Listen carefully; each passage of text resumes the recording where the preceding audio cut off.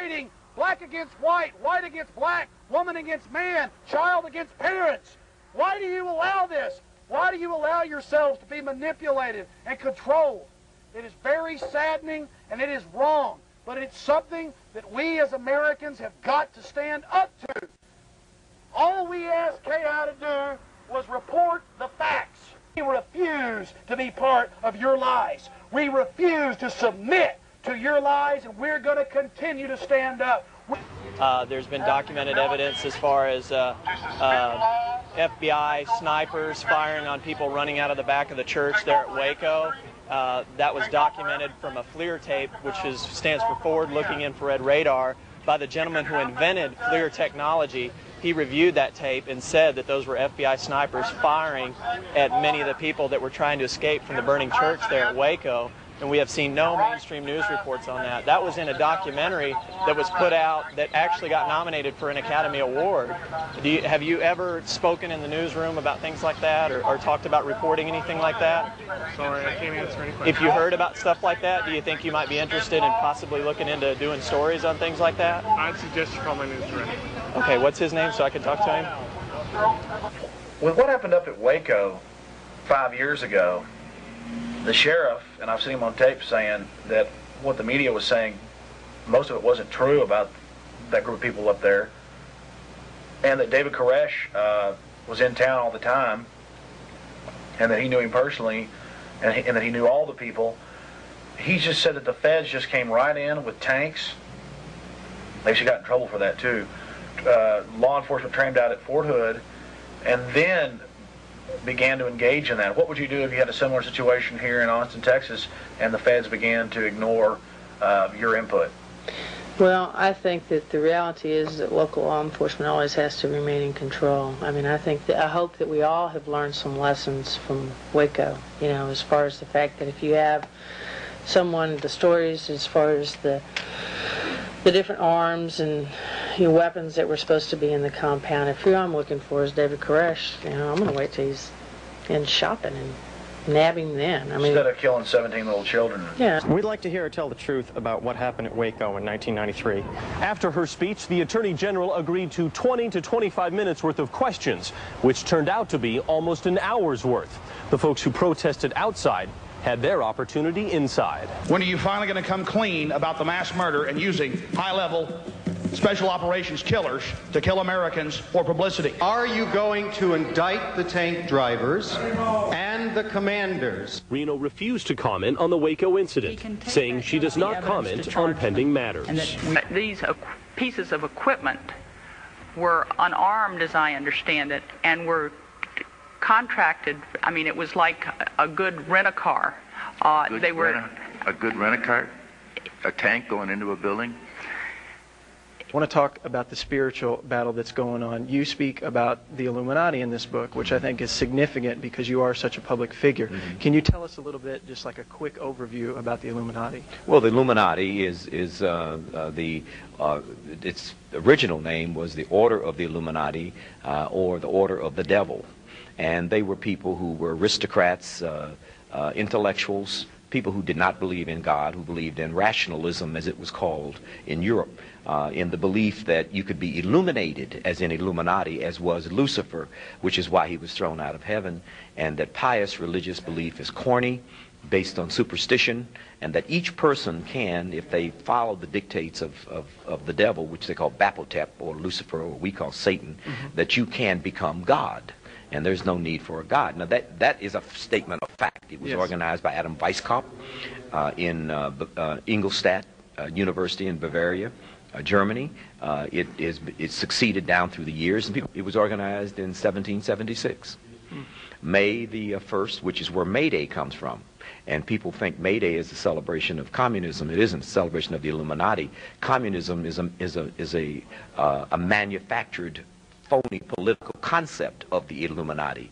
Uh, so the Illuminati plays on both sides. But this was in 1776. As a matter of fact, on the American dollar, when you see in God We Trust, pious Christians, Jews, and Muslims believe it means the Creator God, but it really refers to their God because they have the seal of the Illuminati on the uh, dollar bill. As a matter of fact, at the base of the pyramid on the seal, if you take the, the nine Roman numerals, split them into three each, uh, add up the bottom, you get 666. Uh, so they're everywhere. Uh, and uh, but it, it, it, should not surprise anybody, although it does, because people don't think anyone is this mean to do this. But there are people who believe in God, as you and I do. Uh, there are people who believe in, in goodness, as you and I do. But there are people who believe that there is no God, that there is a devil, who believe in evil. And in my book, I simply document that, and that's simply a part of a, a generational passed along religion that has remained underground for very obvious reasons, and they focus secret. on yes, they focus on the accumulation of wealth, uh, and their religion is uh, this Illuminism. But the victory will be politics, as far as I'm concerned. The victory will be an endorsement of a philosophy. I believe in my heart of hearts the victory in 1998 is going to be good for Texas, and that's the most important thing about the campaign. Wouldn't, sir, shouldn't we abolish the Federal Reserve and the CFR? That's the real reality that none of you will talk about, and most of you are members. That's what's destroying this country, Governor. Don't you stand for America, sir? What about the Federal Reserve and the CFR?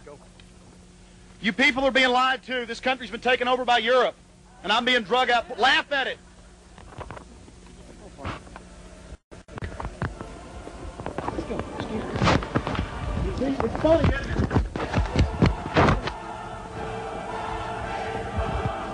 Let's grab an arm.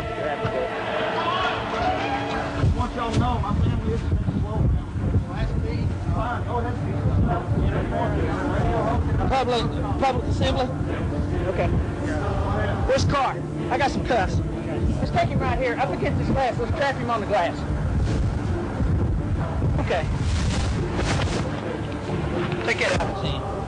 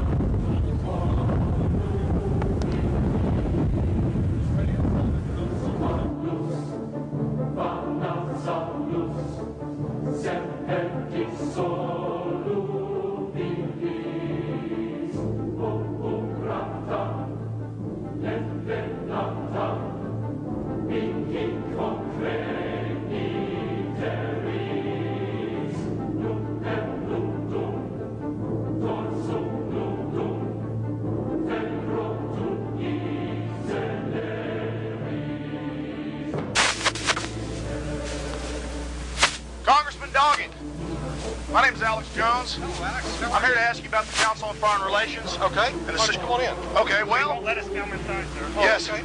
We just have a couple uh -huh. short questions That'll for you. fine. I'm with KJFK Radio. Uh-huh.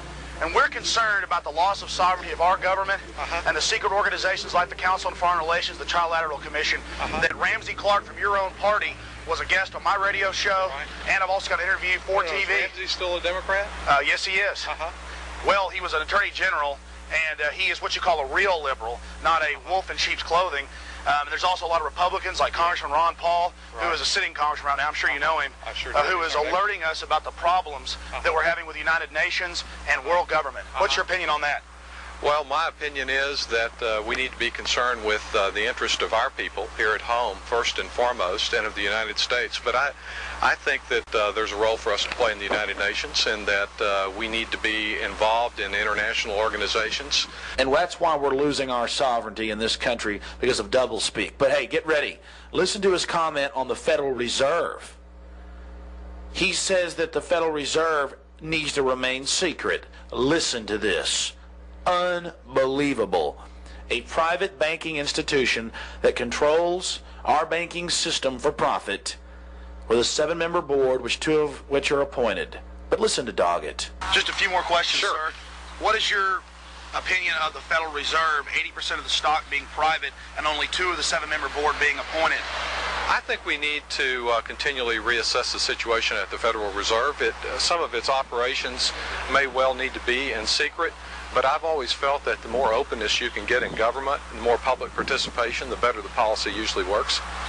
Did you just hear what I just heard?